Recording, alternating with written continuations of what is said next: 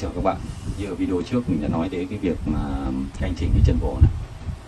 Đấy, cái này thì à, để nó trực quan các bạn à, xem chơi thì à, năm cái bên ngoài này mình đã chỉnh. Bây giờ đánh rất là độ nhún rất tốt. Đấy.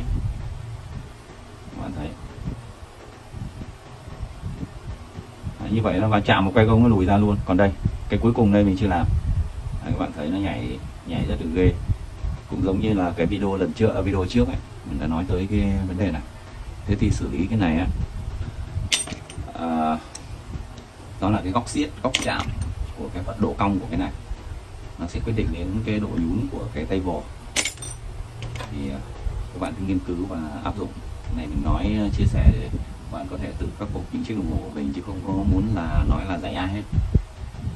Xin lỗi các bác thợ những người đã có kinh nghiệm trong cái chuyện này, nhưng đây mình chia sẻ mục đích như vậy là để ta phổ cập cái kiến thức, những cái kỹ năng cơ bản trong việc chỉnh sửa một chiếc đồng hồ. Đấy, rất đơn giản thôi, hiện tại tại như chúng ta quan sát đây. Cái này, cái góc chạm này của nó nó lớn. Đấy. cũng như chúng ta cầm cái cây gậy mà chúng ta phang vào, phang ngang vào một cái vật gì đó, thì nó bị chặn lại ngay, chặn lại thì nó nhảy lên còn nếu mà ta đập ừ, đập xuống cách siết chéo đi ấy, thì cái lực nó sẽ bị hấp thụ và nó sẽ ít bị nó tạo thành cái lực nhún lực lực trượt ở trên này ấy. thì cái lực đó nó truyền nó là cái uh, gọi là ờ, động năng của cái búa này được chuyển hóa thành cái lực va chạm vào bò nó gần như tuyệt đối. Còn nếu mà nó nhảy như thế này thì nó sẽ mất lực. Một cái bóp nhỏ nhẹ kìm thôi.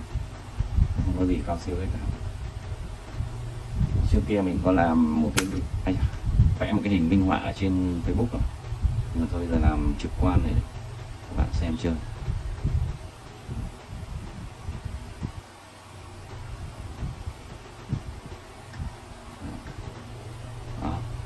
Hết nhảy rồi đó. Cái quạt nó ồn quá. Thấy không? Chúng ta quan sát thấy nó hết nhảy rồi không? Rồi, ok đơn giản như thế thôi.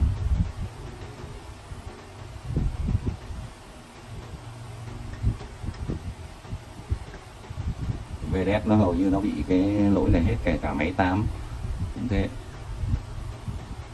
Đó, nó không có nhảy nữa. Điều chỉnh lại cái đầu gồ này cho nó thẳng nhau thôi.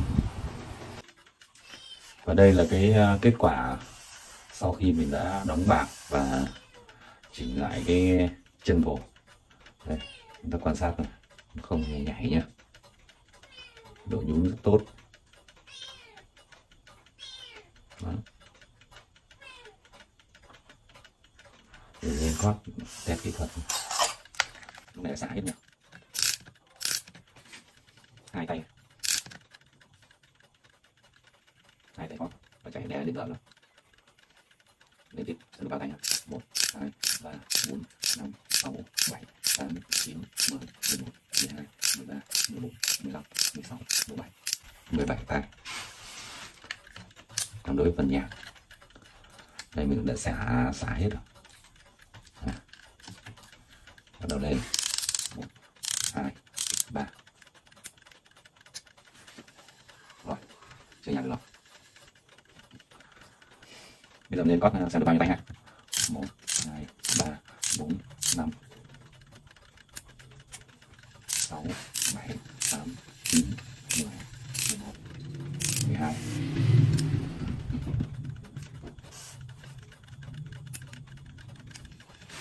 Mười ba, mười bốn, mười lăm, mười sáu. Mười sáu tay. Như vậy nó cải thiện rất nhiều, rất rất nhiều so với trước khi chưa đóng, chưa chưa xử lý bảng